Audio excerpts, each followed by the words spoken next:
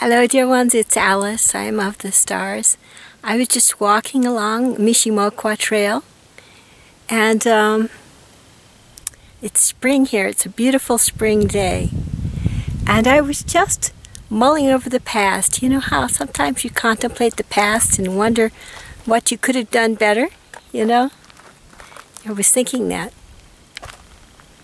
And my team came in, my Ascension team came in, and they said, It's now, not then. And suddenly everything became clear. You know? It's now, not then. And so, it's now, this very minute that matters. Not any past choice or mistake or right path, no matter what the past is, right now is what matters. That's what I think. And here it is, spring. A beautiful spring day, huh? Beautiful. And wonderful to be alive. Just wonderful.